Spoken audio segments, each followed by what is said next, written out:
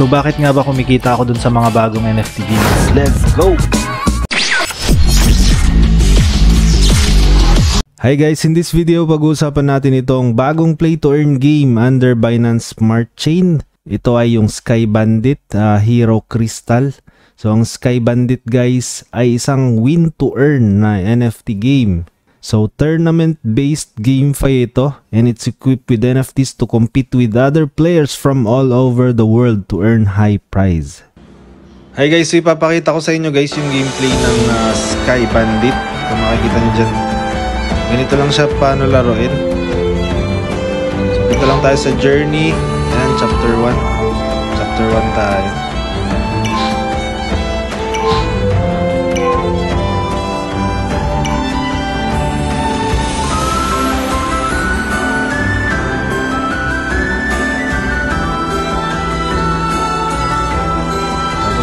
Ko tong Gracelands. So yung gameplay lang naman yung ipapakita ko sa inyo guys. Ayan, swipe lang tayo left right. Swipe lang tayo ng left right. Tapos kukunin natin lahat ng mga kalaban. Parang sisipahin mo. Makikita nyo dyan sinisipa. So ganyan yung gameplay niya guys. Tapos pupunta tapos mamaya guys, papakita ko sa inyo kung paano mag-withdraw ng SBC token pagkatapos itong game na to. Para kapag nakapag-ipon na kayo ng SBC token nyo dito sa game na to, alam nyo kung paano withdrawin kagad. Okay, so ganyan lang siya. Sobrang dali lang naman ito guys. Kapatay na lang lahat yung mga monsters na nakikita nyo dito. Para sa akin, sobrang ganda ng gameplay na to. Sobrang dali niya, hindi siya stressful. So, ayan. Uh, pun So yan, tapos na. Stage clear na yan. Punta na tayo guys sa Backstrade kung paano mag-withdraw ng token, yung SBC token. Kung makikita nyo dito, meron siyang deposit. So nasa wallet tayo ng Backstrade. Meron siyang deposit, withdraw, record, and frozen. So para mag-deposit tayo ng SBC token guys, punta lang tayo dito. Tap natin yung USDT. Tapos hanapin natin yung SBC. And yan na guys, ERC20 nga pala yung SBC token natin. So under Ethereum mainnet siya. Ito yung deposit address, copy paste nyo lang or kapag tinatamad kayo, screenshot nyo lang itong QR code guys. So sobrang dali lang din. Madi-deposit na dyan yung SBC token kapag bumili kayo. Pag withdraw naman, click nyo yung withdraw and hanapin nyo pa rin yung SBC token. Ayan, SBC token, ERC20. So yan lang. Same process din.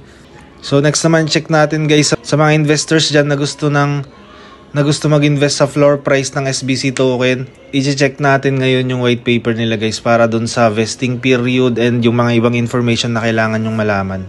And makikita natin dito guys na available na yung token niya. So makikita natin dito yung token address. So check na natin yung website nitong Sky Bandit guys. Makikita natin dito na meron silang YouTube channel. So, i-check natin yung YouTube channel nila guys. Click nyo lang yung watch on YouTube and yan, makikita na natin dyan. Ang hinahanap natin dito kung paano yung play to earn niya. Kung paano yung win to earn na sinabi nila doon. Yan, battle. Tingnan natin kung paano sila mag-battle guys. So, ganun pala. Medyo entertaining yung play to earn niya guys. Makikita nyo naman dyan. Very colorful yung gameplay. And meron din siyang mga tournaments. Makikita natin dito. Pag, pag nasa ranking kayo guys sa tournament, sigurado bibigyan kayo ng airdrop. Kita nyo dyan, airdrop. Okay, so yan yung YouTube channel ng Sky Bandit. Pero hindi lang yun yung game mode niya guys. Makikita nyo dito na meron siyang different game modes. And different tournaments din yan syempre. Sabi dito, equip NFTs to enhance character stats and unlock powerful skills. So, syempre, kailangan natin malalakas din yung NFTs natin. Check natin yung rarities ng NFTs. Andito siya sa baba. So, meron silang iron, copper, silver, gold, tsaka diamond yung rarest na NFT dito.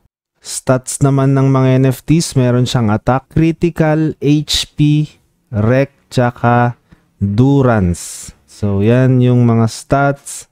And uh, yung mga parts naman, meron siyang eyes, mouth, stone shape, frame shape, stone color, and frame material. Scroll down naman tayo dito sa Sky Bandit Crystal. So, sa Sky Bandit Crystal guys, meron silang tournament fee. Meron din silang equipment repair, prize pool, mint NFT, NFT reforge, hero upgrade, and guild. Sky Bandit Crystal or SBC is our main game token. The wide variety of SBC utility will continue to grow, sabi nila dyan. So ito naman yung dev team. Makikita natin dito si Huang Qianhao. Siya yung co-founder and engineer. Meron siyang LinkedIn dito. And si Tian Yao Xian, co-founder siya and artist. Uh, meron din dito si Enzo Liu, co-founder and blockchain developer. So tatlo lang yung nandito na team nila guys. Partners naman nila is yung centralized exchange na nakita natin kanina. And then meron din silang Boxverse na partner dito. Tapos ito, kung ano naman to. Check naman natin yung marketplace niya. So makikita natin dito sa baba guys. Marketplace, white paper, terms of service, privacy policy. Mamaya i-check natin yung mga white paper and social medias nila. So ito muna check natin, marketplace. And yan, ERC20 token guys, yung gamit nilang governance token. So check natin siya guys dito sa Etherscan kung ERC20. Baka ito yung NFT token nila guys. So NFT contract address nga ito guys. Makikita nyo naman dyan, trade our NFTs in Boxtrade X. NFTs that are not officially minted will not work in our game. We are not responsible for malfunctions of NFTs purchased from unknown source. So kailangan daw dun sa Boxtrade or dito lang sa ano, Sky Bandit official website.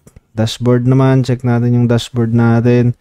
So kapag gagawa tayo ng account guys, pwede tayong mag-connect dito and makikita natin yung dashboard. Actually, gagawa na ako ng account ngayon para makita nyo. So yan, ginamit ko na yung email address ko. Dalarin TV na yung pangalan ko doon. Ito yung user ID ko. Inventory. So meron silang inventory. Makikita nyo naman dyan. Meron na agad akong stone. Kakagawa ko lang nung account ko. So pwedeng mag-deposit dito. Pwedeng mag-withdraw. May inventory sila dyan may tournament.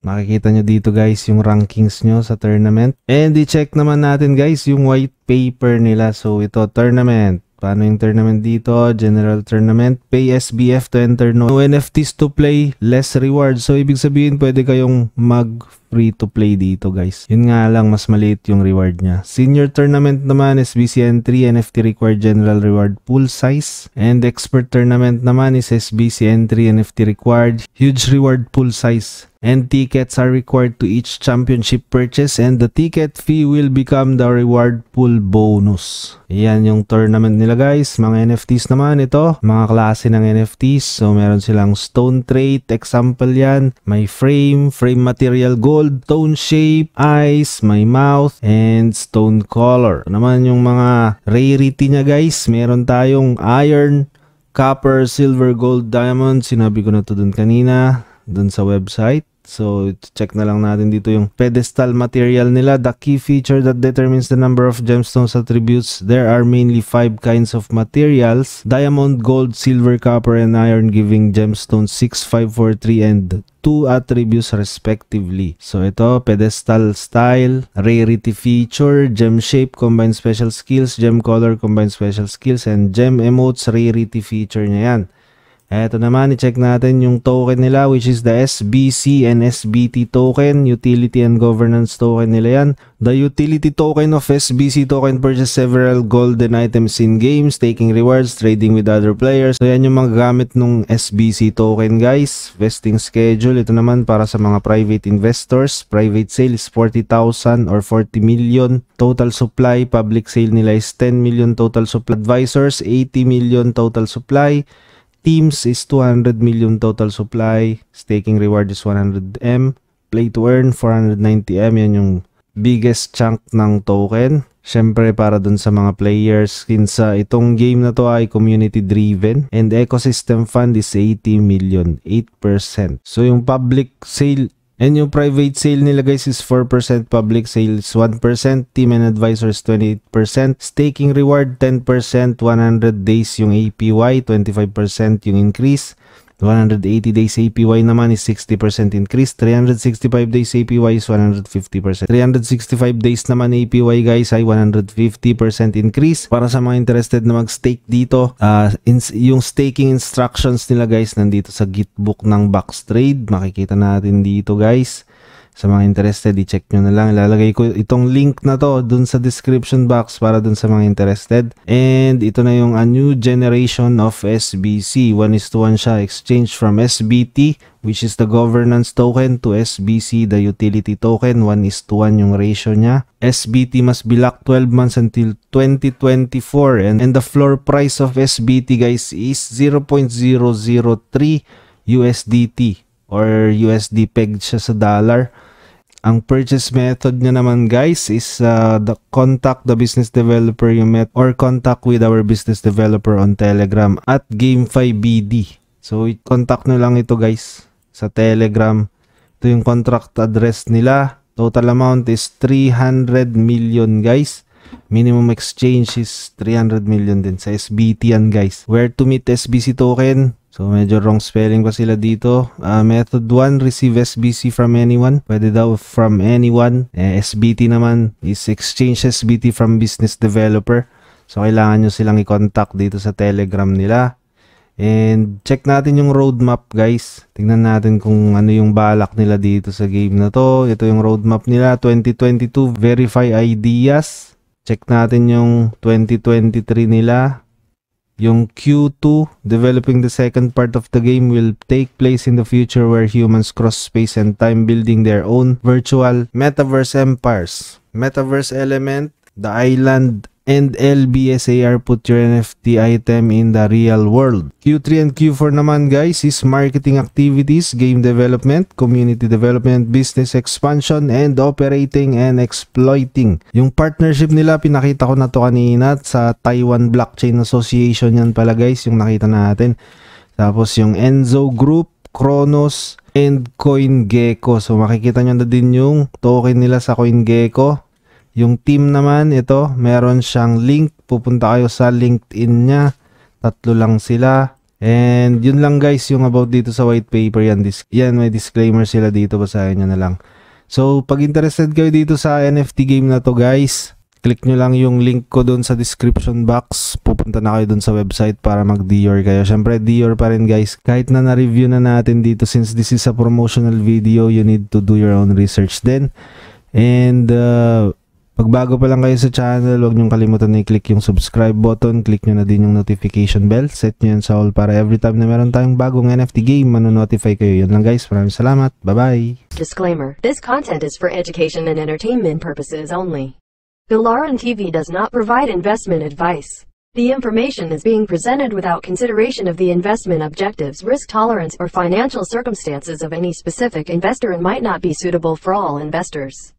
Past performance is not indicative of future results. All investing involves risk, including the possible loss of principal. Some videos have benefactors. Always do your own research. Never invest more than you are willing to lose.